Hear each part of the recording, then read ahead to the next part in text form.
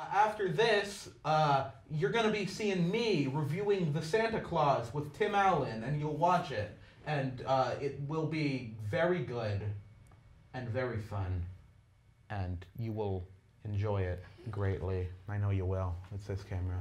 Hello, everyone, and welcome to Brandino's Reviews.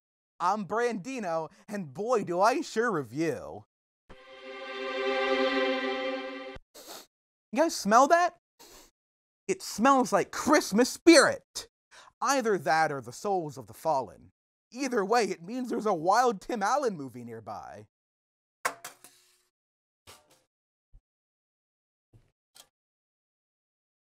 Thanks, Review Goblin. You have pleased me. Hey, look! It's Disney's The Santa Clause with Tim Allen. A movie where Tim Allen murders Santa in front of his child and then horrifically morphs into him to take his place. Because life is expendable, but Christmas is now. It really does get me into the holiday spirit. And to stick with our themes of legal bindings, we have our own clause. Everyone, this is Garcian. He's here to sue me if I slip up. Say hi, Garcian. I'm in danger, aren't I? Anyways, uh, let's see. So the movie is about Scott Calvin, who's a divorced dad, business owner, and generally just kind of a jerk.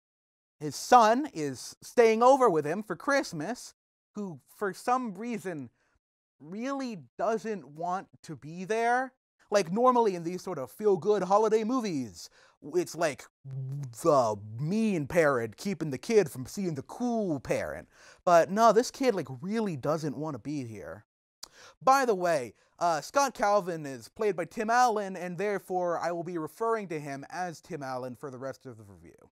Because you know who Tim Allen is. It's Tim Allen. He's just plays himself in every movie.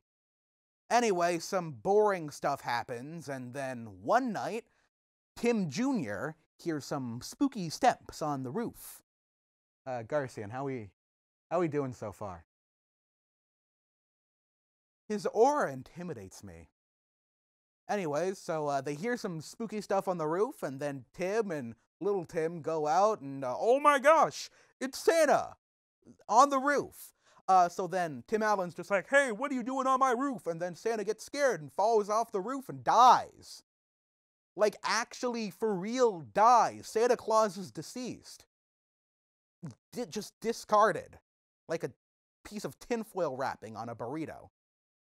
Anyway, Tim goes up to Santa Claus' cold dead body and he finds a card in his pocket that's essentially like, hey, if you're reading this, Santa's dead and now you're Santa. And that's called the Santa Clause. Get it? The Santa Clause? It's like like the title of the movie. Garcian, you get it, right? Please don't hurt me. Anyways, uh, where was I? Oh yeah. So uh the movie in general is kind of mediocre. The acting in it is fine, I guess. Uh, but Tim Allen's fun. You know, it's Tim Allen. He's always fun, whether it's good or bad. Uh, you know, I guess you can go and watch it if you want. I won't stop you. I'm not like your dad. Uh, I wouldn't recommend it because it's still not great. But I mean, hey, go for it if that's your thing. Uh, so you know, doing good. Garcian. Doing pretty good. Anyway, that was my review of uh, Tim Allen's The Santa Clause. It's, you know, not that great. Four cease and desist letters out of ten. This is a bootleg disc. That's why he's here. I'm, I'm constantly fearing for my life.